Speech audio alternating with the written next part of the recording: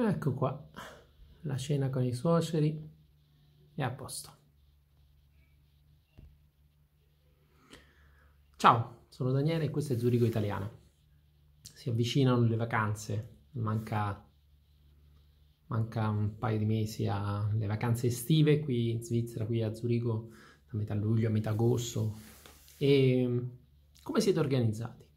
Noi qui siamo, eh, avevamo già un volo per uh, la Spagna, mia moglie è spagnola, quindi pensiamo di andare in Andalusia a affittare con un volo Swiss, affittare a Malaga una macchina, stare tra l'altro un paio di giorni a Malaga in un hotel carino che ci eravamo trovati, poi andare a trovare la famiglia, i miei suoceri uh, in un paesino vicino a Almeria.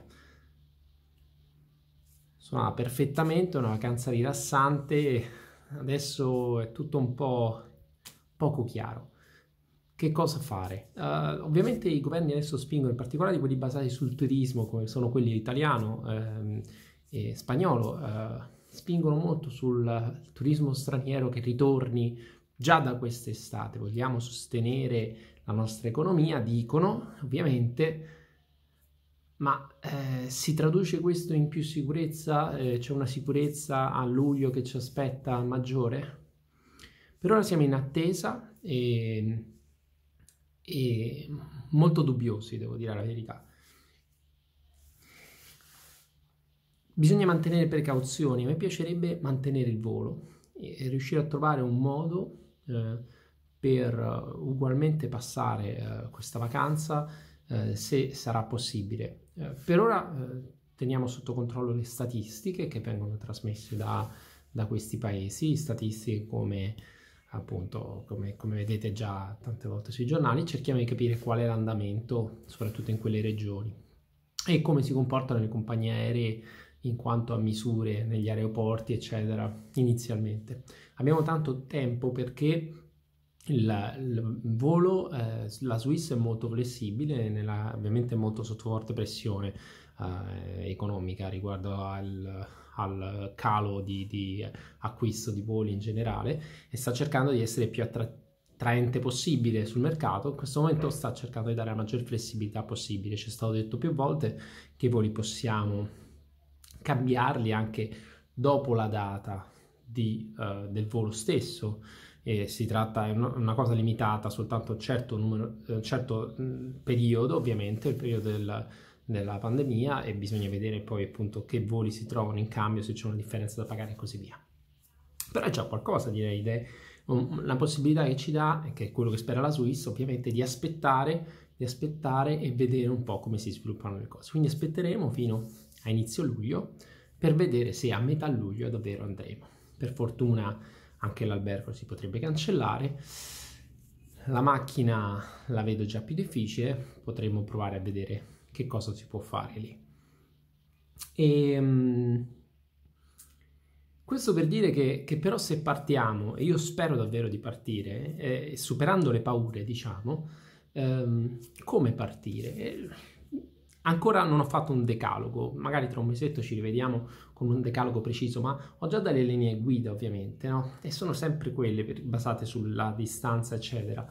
Cercherò di essere breve, Disinfettante sempre con me, sia durante il viaggio, sia proprio um, anche quando sono in giro. Non si sa mai se c'è stato un, un, momento in cui ho dovuto toccare qualcosa, prendere qualcosa e voglio essere non una fontana, non un sapone, voglio avere un disinfettante con me. Uh, ovviamente uh, durante il viaggio a maggior ragione, se si prende una macchina affittata come faremo, sono sicuro che la, la casa dalla quale affittiamo, la casa di noleggio da quale affittiamo, saranno bravissimi e disinfetteranno per bene, però io vado anche con un panno a disinfettare perché ci tengo, perché è una cosa uh, che voglio fare personalmente, ovviamente. Uh, a parte il disinfettante, avrò sempre una mascherina con me perché uh, non me la porterò sempre, fanno 40 gradi d'estate se andiamo lì, eh, possibilmente in Andalusia, quindi non è che posso stare sempre con la mascherina quando sto passeggiando sul lungomare, ma se mi ritrovo in un luogo eh, in cui mi sento a disagio, c'è troppa gente, magari dentro un bar che non ritengo abbastanza uh, a livello di igiene che considero, cercherò magari di non andarci soprattutto, ma se mi ritrovo in una situazione in cui mi sento a disagio e, e ritengo che sto troppo vicino ad altri, mi posso mettere una mascherina. Porterò anche per mio figlio durante il viaggio uh, qualcosa, pensavo, devo ancora verificare come, ditemi anche le vostre idee nei commenti.